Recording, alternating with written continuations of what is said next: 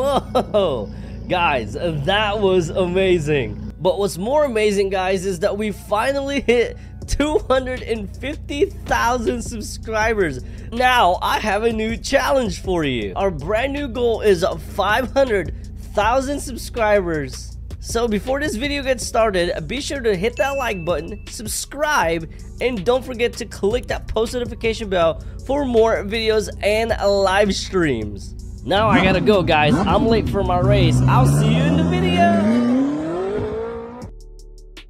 Ooh, check this out. This is the brand new Top Fuel motorcycle here in CDT, guys. Yes, the Top Fuel. You guys probably know that name because we also have the Top Fuel vehicle right over here, guys. And today, we're to go ahead and check this out to see how fast could this go fully upgraded. But before we get started with this video, be sure to smash that thumbs up button, subscribe if you guys haven't, and don't forget to click that post notification bell. Now, let's get started with this video. Okay, first of all, we gotta look at this bike. Like, check this out, guys. Like, there is an air intake in the front of the bike made out of carbon fiber. This is insane, and you guys can see that there is this monstrous engine. I have not looked into this car yet, guys, but you can see there's this huge engine right here. We got this huge tire right here, and of course, guys, we got our parachute system because we are gonna crash if we don't have it. You guys can see this quad tip exhaust just right above the wheels guys. That is super cool. And we don't have a windshield okay? I think this is just straight up plastic right here guys which is amazing. Now let's go and get on it guys and see how fast this actually goes. But let's check out the stats. You guys can see that it goes 268 miles an hour with a handling of 8.4 the rear wheel drive and also guys you can see it's worth 2.8 million dollars but we got it from the season pass right over here guys for 4500 trophies. And if you guys want me to give to a season pass go ahead and comment down below guys and i will do just that. All right unfortunately this one can't do a wheelie guys because we have this thing in the back.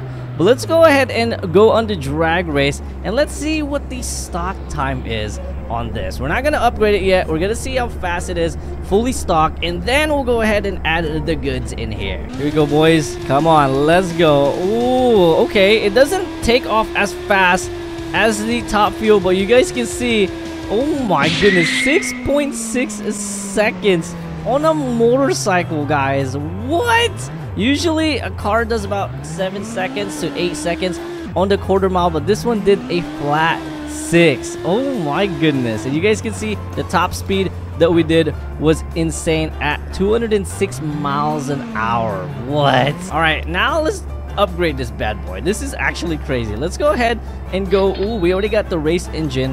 And you guys can see we don't have the race turbo yet, but we're going to go install it for $1.49 million. And it's going to give us only a 14% acceleration. Usually gives us like 44, but it's only going to give us 14. Let's go ahead and stick some race tires in here, and I am ready to go. Here we go. This thing only has one gear too, guys. Oh my goodness. And you can see that exhaust right there, or that intake. Oh my goodness, 213 miles an hour. We went from 6.6 .6 all the way down to a 6.2. What? That is insane. You guys can see our top speed was already at 268. We can't go any faster than that, but that's really, really fast. I kind of want to try this out at the half mile. I want to see how fast it goes, or even if we reach top speed going the half mile race right here. Oh, here we go. We're all alone in this race. I don't think they want to challenge your boy, but look how steady this bike is. Oh my goodness, look at this, 245 miles an hour. Yo, okay, at 9.5 seconds, that's actually really, really fast. I want to test out the top fuel first. I want to see how fast this one actually goes versus the top fuel bike on the half mile. I want to see the big difference between these two. Here we go, boys. And this is the top fuel. I forgot the time on this. Oh, gosh. But it's not as steady as the top fuel bike. Oh, my goodness. You guys can see 7.4 seconds. Yeah, definitely beats the bike 100%. I don't know how, but you know what? It's the top fuel I think this is like a motorcycle with a car inside of it, honestly, guys. But let's test out the top fuel on the oval race. I'm actually excited to see that. All right, I'm at the oval race right now, and I kind of want to see if it actually does very well like the funny car and the top fuel. Oh my gosh, this thing is super fast. We're getting up to over 200 miles an hour, but we're hitting the barrier though. Look at this, 209 miles an hour on that bank right there. That's actually really, really helpful Oh my goodness. This might be one of the best oval race cars yet so far. I gotta test it out with subs, guys. But look at this. 237. Oh, 224 around this bank. That is crazy. Oh my goodness. We're going super fast now, guys. Look at this. 258. We reached top speed.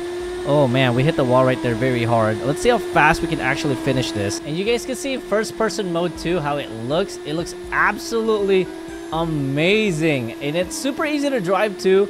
It's not too hard. You guys can see we're going 217 right now.